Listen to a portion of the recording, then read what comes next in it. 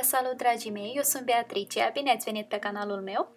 Astăzi vă propun să pregătim niște fursecuri bune de tot, dar și cu un aspect foarte interesant, care imediat le dezvălui gustul și aroma de cafea.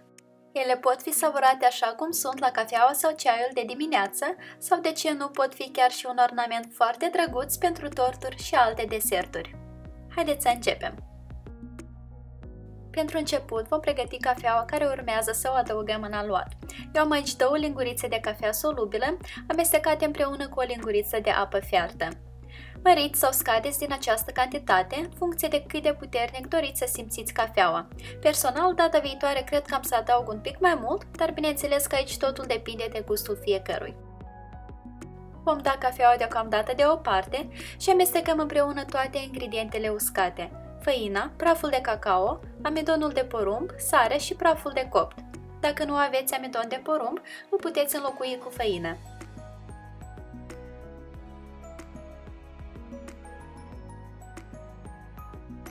Într-un bol separat vom bate timp de un minut untul la temperatura camerei.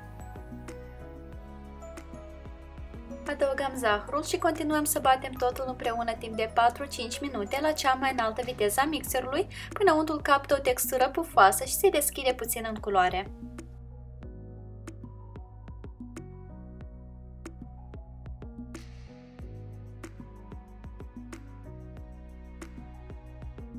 În continuare, adăugăm două gălbenușuri pe rând, incorporându-le foarte bine. Gălbenușurile trebuie să fie la temperatura camerei.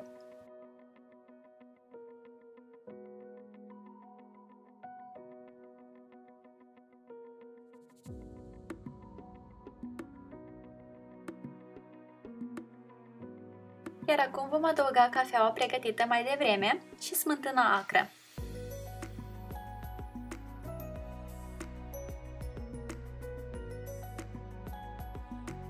Mixăm totul împreună până obținem o compoziție omogenă, după care cernem deasupra ingredientele uscate.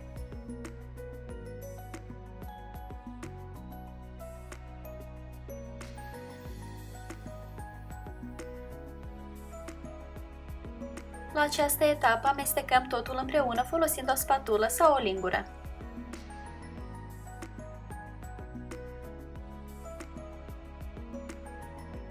Când toate ingredientele uscate au fost incorporate, ne oprim. Nu trebuie să manipulăm prea mult aluatul. Pentru a obține fursecuri de aproximativ aceeași mărime, vom porționa aluatul folosind o lingură de măsurat ingrediente. Luăm câte o lingură din aluat și modelăm din ea o formă asemănătoare cu o maslină. Aluatul este extrem de ușor de modelat, nu se lipește absolut deloc nici de lingură, nici de mâini. Punem fursecurile pe o tavă tapetată cu hârtie de copt, lăsând un spațiu de aproximativ 3 cm între fiecare. Iar acum, pentru a reda fursecurilor forma clasică de boabe de cafea, vom face câte o indentație în centrul fiecarei boabe cu ajutorul unei scobitori. Nu apăsăm prea mult, până la jumătatea boabei este suficient.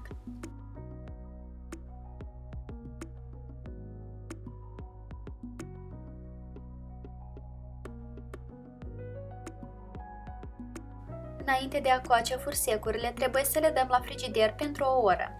În stare răcită, boabele își vor ține mai bine forma în timpul coacerei. După o oră, dăm fursecurile la cuptorul preîncălzit la 180 de grade, timp de aproximativ 15 minute.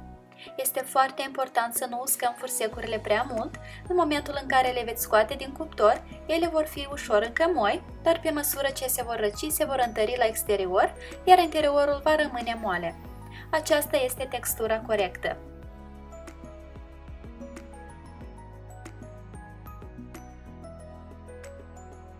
În total am obținut 47 de fursecuri, sunt foarte drăguțe și au o aromă profundă de ciocolată și cafea, dar bineînțeles că dacă nu vă place cafeaua sau pentru orice motiv nu o puteți consuma, o puteți omite și să faceți aceste fursecuri doar cu gust de cacao.